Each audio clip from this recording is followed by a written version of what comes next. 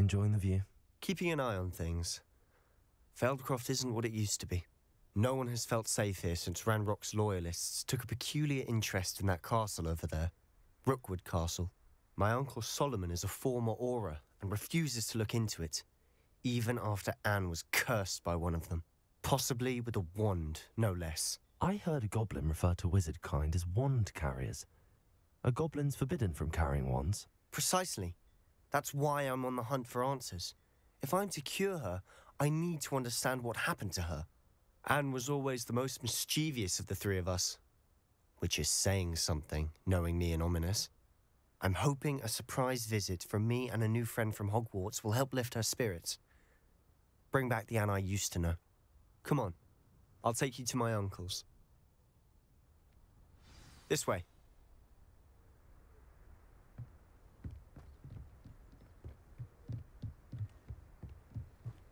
Feldcroft used to be a lot livelier. With Ranrock's lot wandering about all the time, everyone stays out of sight. Here we are. My sister should be just inside.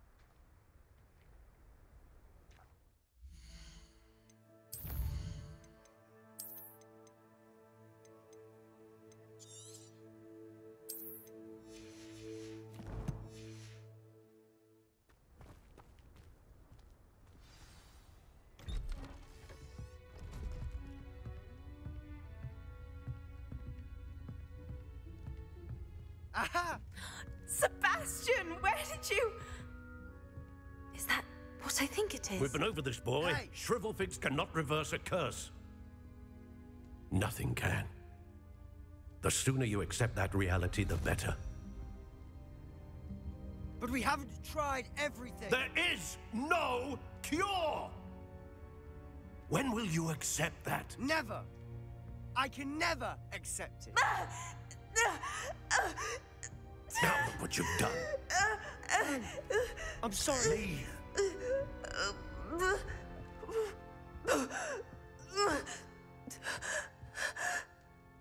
Leave. I'm sorry you had to see that. If you don't mind, I just need a moment alone. Poor Sebastian.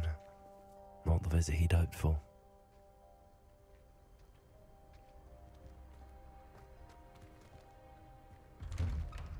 I'm sorry about earlier. Those bouts of pain are Revelio. difficult to bear.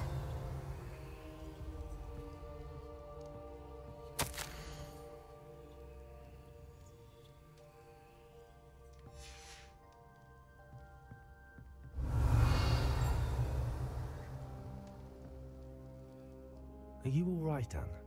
I I didn't mean to intrude. You didn't, truly. And I'm all right. The pain from this curse comes in bouts, and often suddenly. It's not anyone's fault. It's nice to meet you, by the way. You must be the new fifth year Sebastian told me about. I am. Sebastian and I met during a rather lively duel in defense against the dark arts. Oh, dear Professor Hecat. She's a powerful witch. And she knows how to keep students like my brother and me in line. I do miss Hogwarts, but I wouldn't mind being in Feldcroft really if it wasn't so dreary now. Between the goblins at the castle and my uncle fighting with Sebastian whenever he's home, it's not the cozy retreat it once was. Sebastian mentioned something about your uncle being an ex-Auror, but refusing to go after Ranrock's loyalists. I must say, I wasn't prepared for him to be as angry as he was. Uncle Solomon is frustrated by what happened to me and by Sebastian for thinking he can fix it. Both mean well, I know they do, but my uncle is right. This curse cannot be undone. I can feel it. Sebastian cannot take away my pain. Perhaps you can help him to understand that. I'll do my best. I can promise to speak with him about it. Thank you. His search for a cure is futile, I'm afraid. I'm getting tired. I should probably rest. Thank you for stopping by. I wish you well.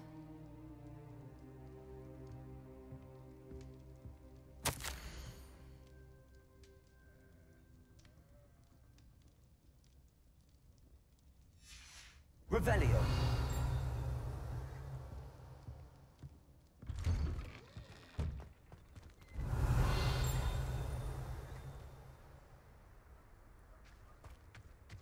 That boy will fray my last nerve.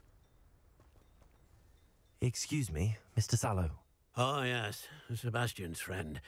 I apologize on behalf of my nephew. He doesn't know when to stop. I was about to check on Anne. Did I see you come from the house? How is she? She's all right. She said she was going to rest. Nothing can be done for her. I understand you've tried everyone from Nurse Blaney to St. Mungo's to no avail. We have. My nephew thinks he knows better than the healers. Perhaps the healers don't know everything, sir. Sebastian is single mindedly focused on finding a way to help his sister. If there is a cure, he will find it. Your faith in Sebastian is misplaced. Some sort of dark magic cursed Anne, and the goblins aren't likely to explain themselves anytime soon. Giving her hope is cruel. The only thing to do now is keep Anne comfortable and stay out of the Loyalists' way.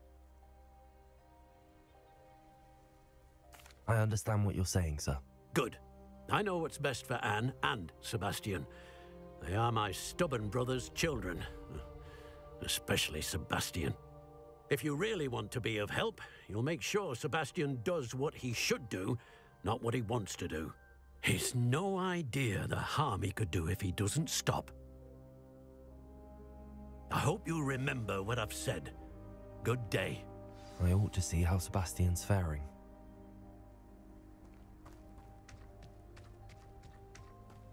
Why will he not listen to me? She's my sister. How are you doing, Sebastian? You got a first hand glance at what I'm dealing with. I apologize for my uncle. I'll admit, I wasn't expecting him to be so angry.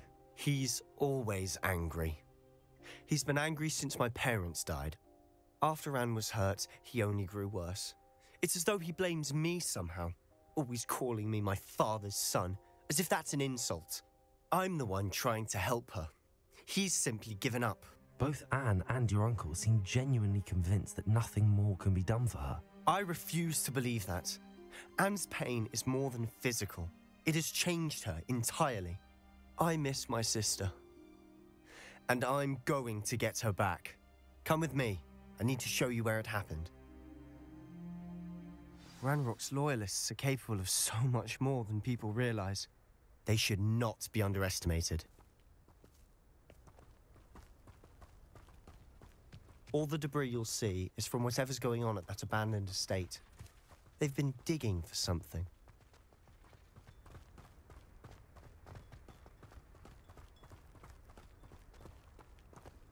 Up there, on that plateau, is where they cursed Anne. This way.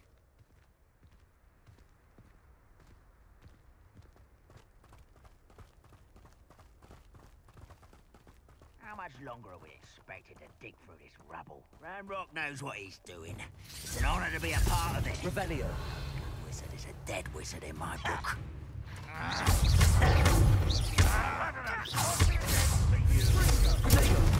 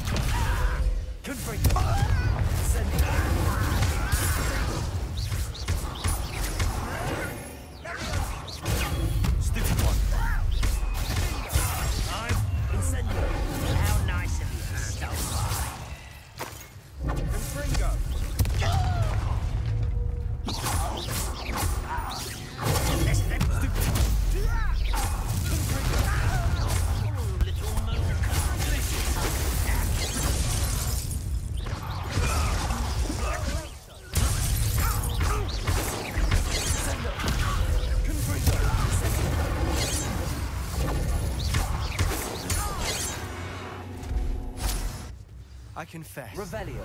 That was a bit more than I'd bargained for. I tried to warn you.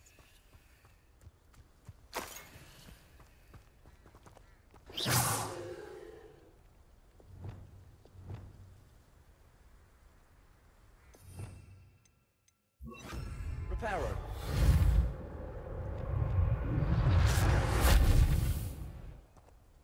Revelio.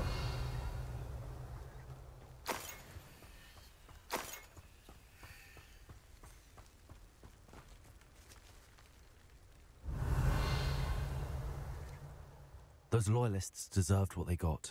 Couldn't agree more. This is where it happened. We smelled smoke in the middle of the night. When we looked outside, flames were shooting from the estate. Before my uncle and I could stop her, Anne rushed out, racing towards the fire, worried someone had been hurt. She came face to face with a horde of goblins, frantically trying to stamp out the flames. Suddenly, an icy voice drifted out from somewhere in the smoke. Children should be seen and not heard. A blinding blast followed. They didn't even give her a chance to run. It seems an awfully violent response to a child wandering by. What were they trying to hide? My thoughts exactly. It may be grasping at Billywigs, but I keep thinking that there might be something here that could lead me to whoever cursed Anne. Might be the only way to learn what type of magic harmed her, which could help me find a cure. Perhaps you're right. The Loyalists are everywhere, but they do seem to be spending a lot of time here, and it's likely they're hiding something. And at Rookwood Castle. Shall we have a look around? They seem to have set up camp here for a specific reason. They have stations for everything. Whose home was this? Been abandoned long since I've lived here. Rumour was a Hogwarts professor lived here once, centuries ago. But that's all I ever heard. Confringo! Revelio.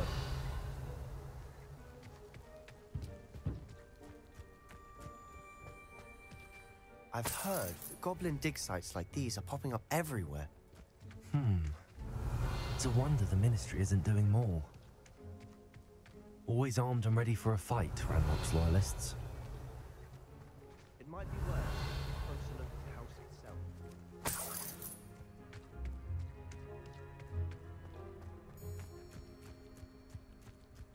This well looks familiar. Revelio.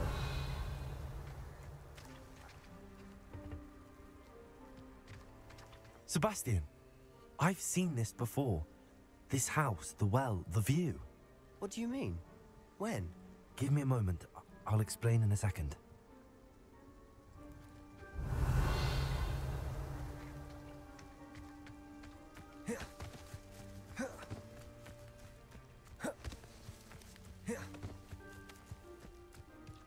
Revelio.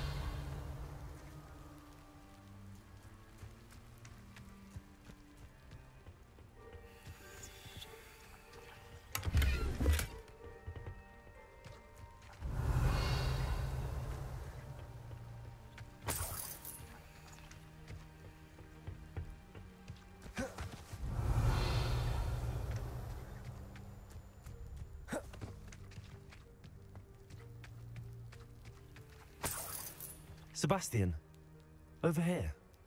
Do you think that this was damaged by the fire the night that Anne was cursed? Could be. But it looks to me as though this was intentional. Revelio. Sebastian, this house did belong to a Hogwarts professor hundreds of years ago. Who? What do you. I found a Pensieve that day in the restricted section with a memory that showed this house. There was a little girl and a drought. The keepers have shown me other memories as well. The girl became a Hogwarts professor. Her name was Isidora Morganach. She was one of the keepers. The keepers? Like in Quidditch? And you found a Pensieve in the library? I'm not following you. I realize it's a lot to take in. I'm not even sure I understand it all yet. And no, not like Quidditch. They call themselves keepers because they're protecting some type of knowledge. It has to do with the vault at Gringotts. Let me see if I've got this straight. You have Ranrock and Rookwood after you because of something you found at Gringotts where you ended up via a Portkey. You can see traces of an ancient magic that you think Ranrock is trying to harness. And now you've been witnessing memories left by keepers. Oh, and this house belonged to a Hogwarts professor who was one of these non Quidditch keepers hundreds of years ago. If I didn't know you, I'd think you were pulling my leg. It is all a bit much, isn't it, when you put it like that? The point is, we both have good reason to search this house. You for answers about what happened to Anne, and me for answers about the keepers. Look at this. Someone piled this here for a reason. Is it blocking something? Only one way to find out.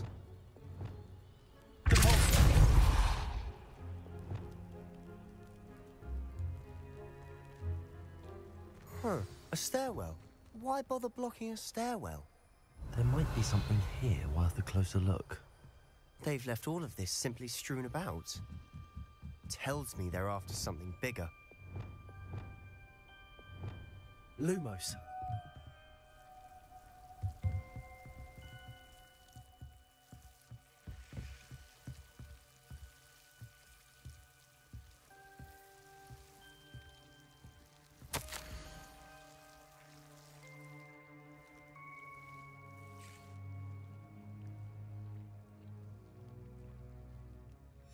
A journal entry of Isidora's. I should hold on to this.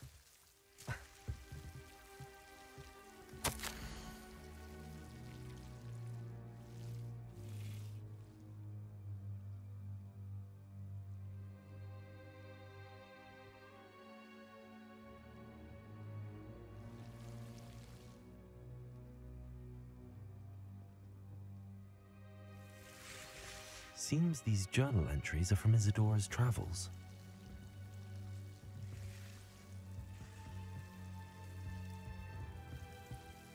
Revelio. Lumos.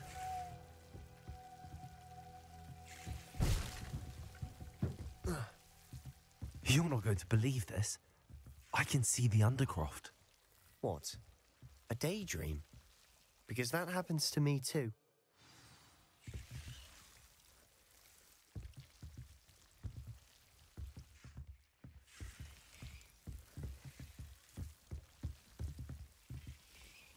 Know it sounds strange, but. Honestly, nothing you say sounds strange to me anymore. Fair enough. I can see the Undercroft through this stone wall as though it's a window. This has happened before. I'm listening. I think it's to do with my ability to see traces of ancient magic. But you said you didn't really understand it, and that you couldn't wield it. That's true, and I'm still not sure what it all means. What I do know is that my ability allows me to travel through these windows I see. Wait. We can get straight to the Undercroft from here.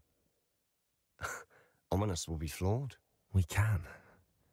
But perhaps best not to tell anyone else about this for now. Even Ominis. Understood. Well then, invisible, secret, ancient magic passageway? Here we come. I'm tempted to hold my breath.